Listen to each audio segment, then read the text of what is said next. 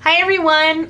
I am doing just um, I'm doing a process video, but I thought I would just go ahead and show um, the finished product right now in case anybody just wants to check out um, the done deal and not go through the, you know, however long that process video is uh, going to uh, be. But anyway, um, big shout out to Serena Bee for um, starting this YouTube hop and um, to Kellie Murton for including me in it and um, to all the others who are participating in this. I can't wait to see all the videos um, because I just eat this kind of stuff up. But um, anyway, this is my finished project, project uh, the summer themed project, and um, I kind of went with the whole um, underwater theme, and um, this is how it turned out. I am very, very super excited because it's it's kind of a stretch from what I normally do. It's actually a far stretch from what I normally do, um, especially working with like blues and and greens and um, so I was I was once I started working on this, it just like flowed. Um, but anyway, so let me give you like a little close up here um, and just watch the process video. You will see how all of it came together if you continue watching. Um, here's like the sides. And yeah, I really, really, really love the way this turned out. So if you're interested um, in how this was put together, just keep on watching um, and then I'll go right into the process video. I will see you guys later. So here is my start of my summer theme project summer. I live in Sarasota, Florida, so it's like summer almost year round. So it's probably my least liked theme of all. So I don't want to go with anything like, I guess that would be too, you know, I don't know what the word is I'm looking for, but uh, I decided I'm going to do like an underwater theme. And um, so here I've got a bunch of stuff out. I think I'm going to use this primed wooden cradle board that I had in my stash and I've pulled out a bunch of like beachy themed things and I got this graphic off of an Etsy store for $1.75 from right here. Pixie Pix. And um, I think what I'm going to do is I I have this grunge paper out. So to and this is on uh, white cardstock. I printed it too. So, but just to give it a little bit more substantiality. Is that a word? Substantiability? I don't know. Anyway, to make it more substantial, I, I what I'm going to do is I'm going to adhere this down and then cut around her. Um, because I think what I want to do on this cradle board is have like, and I'm gonna, this is a, my Hass avocados came in this netting. So I am gonna use this netting in here somehow, and I'm gonna paint over all this, of course. But I think I want to have my um, mermaid kind of trapped in the net and do like just some kind of um, ocean themed, you know, scene on this thing. So, and I don't know, I was thinking about maybe even working on the back side of this as well. Um, but I haven't made up my mind yet. This is just where I'm starting. So I'm going to push all this to the side and get to working with adhering this down and I'll be back. I got a mess out here. Okay, so I am going to I'm gonna, I've got this netting down that I am going to try to spray paint with the Adirondack Color Wash in Espresso. And then I'm gonna go over it with uh, Lindy Stamp Gang Bayou Boogie Gold. I don't know how this is gonna turn out because I have never tried to color over the top of this plastic, whatever the heck this material is that you get. Like I said, it was my Hass avocados. so it came from the grocery store. So I am just going to come in here, do both sides.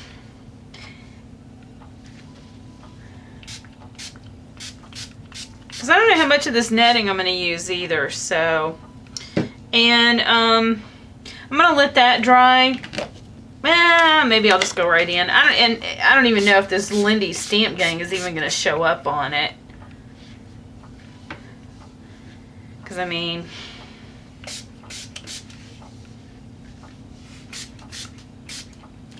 you know, it's so sheer. Okay, so I'm going to let that dry on its own because it's plastic. I obviously can't use the heat gun on it. So, row. So I'm going to just put that off to the side for right now and come back into my cradle board. And I guess to give this thing some texture, I'm going to my tried and true, which is tissue paper, and wadding it up.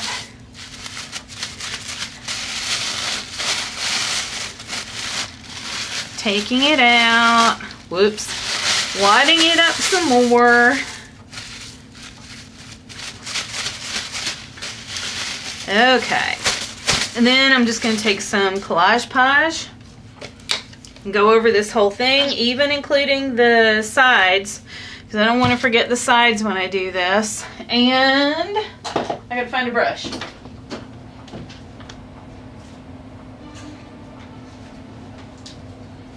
Okay. So I'm gonna apply this. And I really am not to be neat about it. I don't really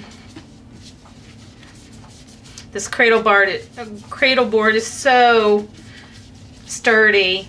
I like working on this a lot better than um, canvases.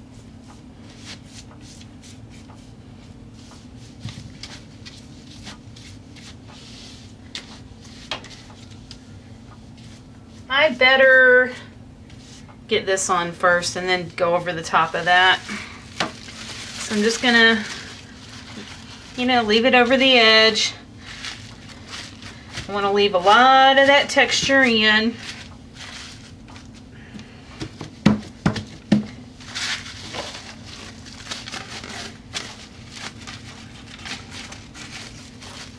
Oh, row. oh my gosh, it's so thin I'm tearing it. Yikes. I'm just going to try to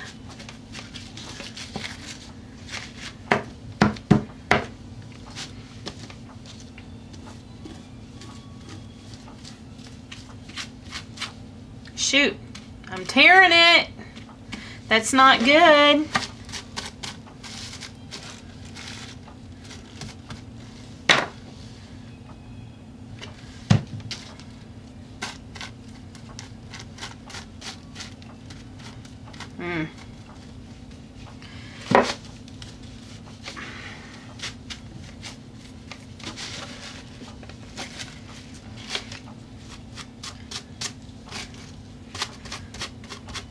So this is all I'm doing. I'm just going around the thing with my collage page and I'm tearing a lot of it, but you know, again, this is one of those pieces where you don't really know what texture is going to show through. God dog it. My fingers are sticking to it. You don't know, um, you know, what's really going to show through texture-wise anyway, because you're going to have, you know, I'm going to have a lot of stuff on this, so... Not really sure. And then once this is dry, I'm just gonna come in and, you know, I'll tear off this excess, even though it's partly tearing off now as it is.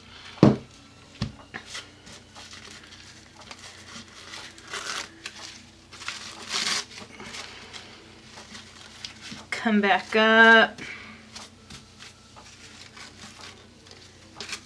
Yeah, kind of just tearing some on my own right now.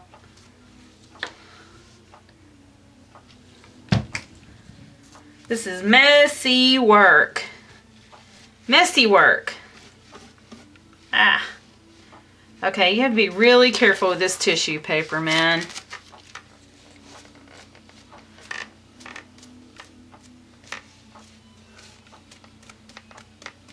I just made a mess out of that. All right, so I'll clean up the back side of this once it's uh, you know, better dried because right now I am tearing a lot of stuff off that I don't want to tear. So I just kind of want it, because it's going to be an underwater scene, I want it to be like textured, you know, like there's like waves moving underwater or, you know, whatever. So,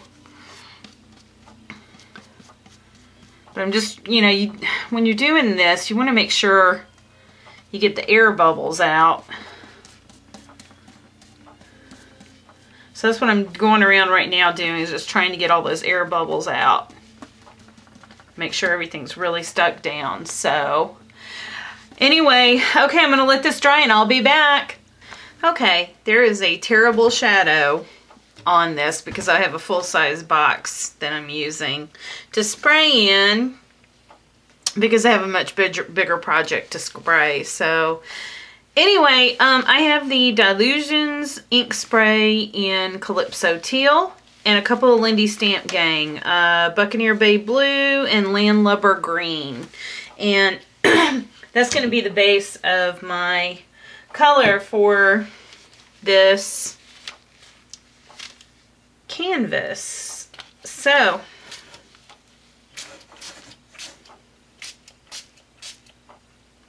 I'm just going to go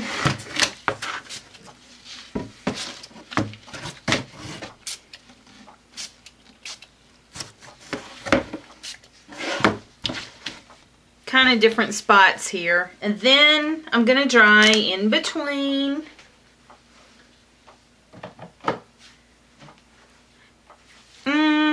Maybe not. Maybe not.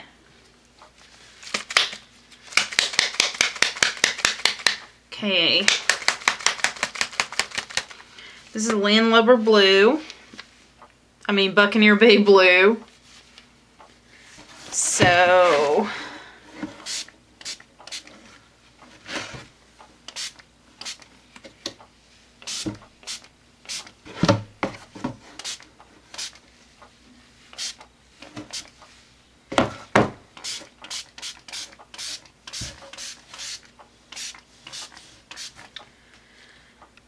All right. hmm.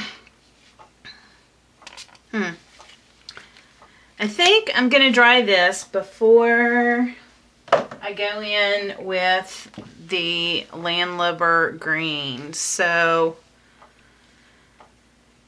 you know what? I don't think I'm going to use this. Uh, this is a Moonshadow Mist. It's going to, well, I don't know. God dog it. All right, I don't know. I got to think about this because I don't know if I want brown. The Moonshadow Mists have a brown tint to them, and I don't know that I want to have um, a brown tint on my... But then I started thinking about it, and I'm like, wait a minute. Yeah, maybe I do. So while I'm heating this, I'm going to think about that. And, uh, yeah, I'll be back. Okay, so I went a little wackadoo with um, some more spray colors and this is what I wound up with. So, you know, I like how this came out. So, and also my netting too. The netting came out really awesome as well. So with the sprays and stuff. I did go out over it with the Pearl Mist um, spray as well. And um, just to give it a little bit more sheen. But it blends in really well with that canvas. So she'll look very cool all tied up in that. I think that's pretty cool. Anyway, on to what I'm doing now. So now I am taking, I have a couple of these charms right here. I got these at Michael's. It's part of, you know, just these little bead landing charm sets with sea life creatures on it. And um, what I'm doing is, let me find my tweezers. What I am doing is I am taking my Versamark pen here and let me find the right end. I want the thick end here. Okay. And what I'm doing is I am getting some of that embossing ink on this charm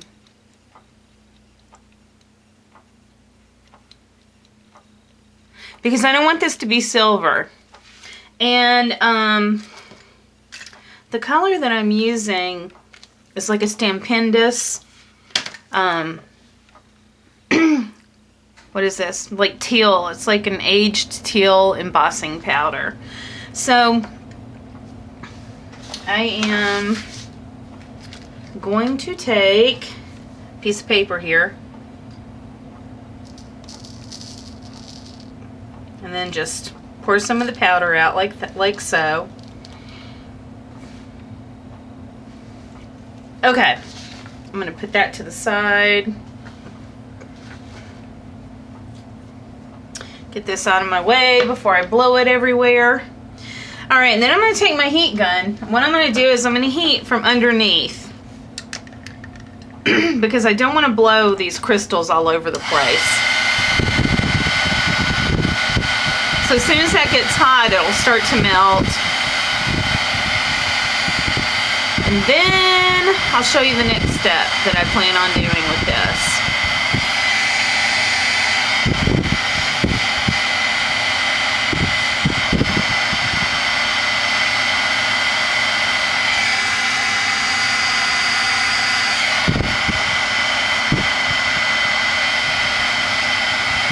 big piece on here. Get that off.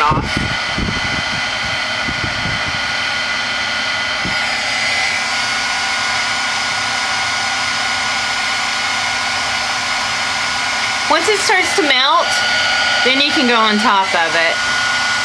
Once it starts to get all oozy melty. Sorry, didn't realize I was off camera there.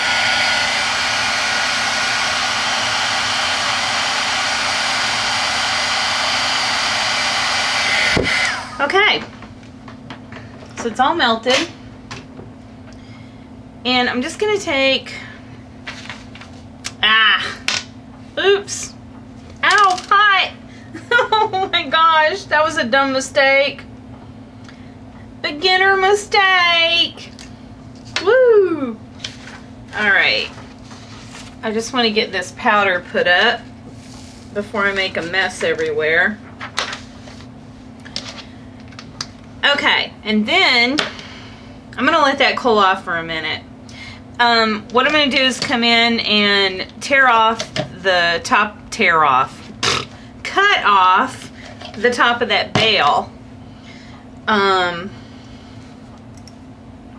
because I don't want that um, bale top to, God, this, yeah, that needs to cool off a little bit more. I want it to look exactly like this one. I've cut the bale off so that all it is is just this little seashell. Because what I'm going to do is I am going to adhere it to my little mermaid here and clothe her a little bit so she's not so nudie nude. And um, have this be kind of like a little, you know, seashell bikini top. Like so. And uh all right I think that's no? Look it's melting off onto my fingers. Okay I think I'm gonna have to come back. I think that's really gonna have to cool off for a while before I can cut that off. So let me get to that next step and um, I'll be back. All right my glue gun is heating up. And I'm just trying to figure out where I'm going to place everything now. Because, um, you know, I've got my base done. So, I'm just kind of trying to figure out this part. So, I have this crust, crushed seashell that I got at Joann. And I am going to take my glue gun but now I've got to try to figure out where I want it and I'm gonna have to work in batches because this dries so quickly that I need to work apply some of the crushed seashell, see what I get, and then continue on. So I think I'm just going to squiggly line this.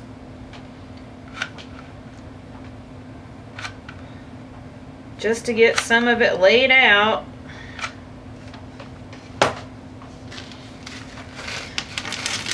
Lay this all on there, see what sticks.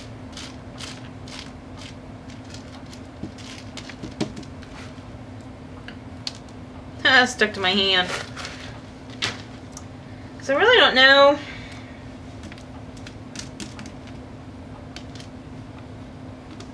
Blue, wow. Glue boogers. Yeah, because I really don't know. I've never worked with this before, so... We shall see what we got here.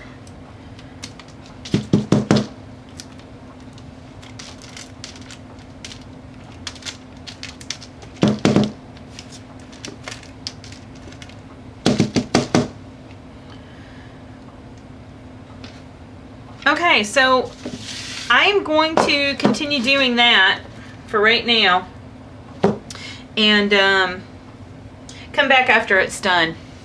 Okay, so I got that adhered down and then I decided to go in with some more of that eyelash yarn that I'm using in that um, netting here and um, you know have that kind of be in between you know, these little shells down here at the bottom of my little ocean floor. And then I took just um, this bag of shells that I have, and uh, I'm not going with that really big one here. And um, I've picked, um, you know, just some of the smaller shells out of the bag and you know I'm gonna kind of lay those in here somewhere like you know these kind of little shells um but I've got a mess out here, to be honest with you. I've got a big old mess.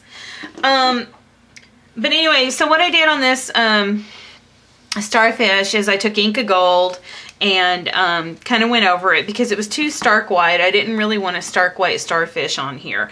And I did the same thing with my little um, shell here. I just ran some gold rub and buff and I decided I'm going to put a little crayon on, or a big crayon I should say, on uh, my mermaid. So I did take some of that same Inka Gold, and because this was a silver, you know, crown here. And um, I put Inka Gold on it just to tie it all together. So now I'm in the process of just, you know, laying all this out, trying to figure out where I'm going to put things. So right now, I do know I want to have this right there. So I'm going to take my hot glue gun and I want it to kind of go off the canvas a little bit. So, ooh, I didn't gauge that very well.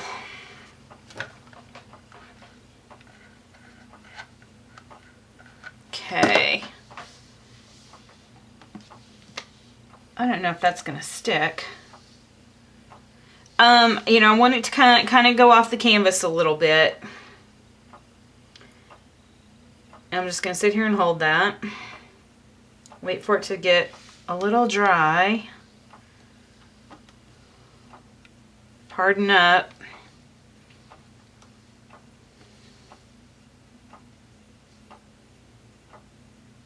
Got glue strings everywhere. Okay, and then I'm going to do the same thing down here with this little shell.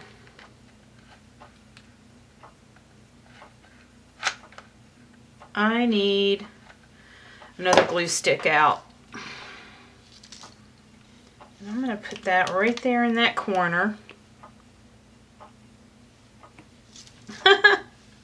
glue strings are everywhere. Can you see that? Can you see that? I don't know if you can see that. Ugh.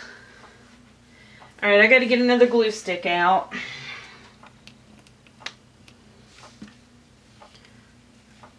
Golly.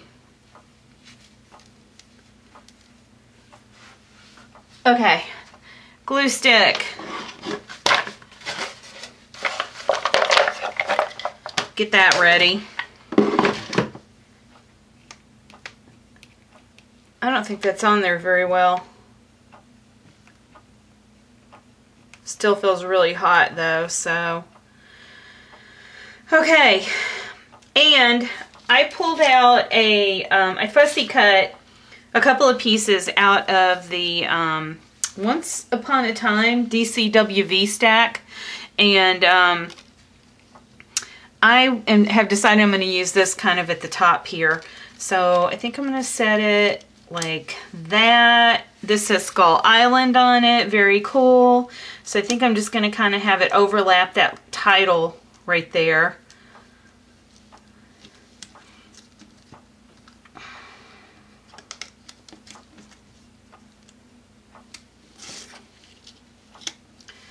Maybe do something like so. So, I gotta figure out which glue I'm gonna do. And I still have to figure out also as well my netting, how I'm gonna have that on this, this cradle board here. Maybe have it go off.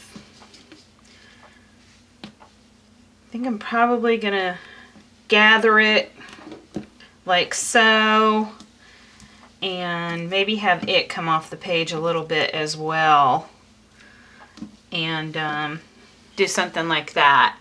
So once I get all that figured out, I will be back after I get it adhered on. Um, I'm probably just going to wind up using my glue gun to get this put around the back side and put down here. So anyway, I'll be back.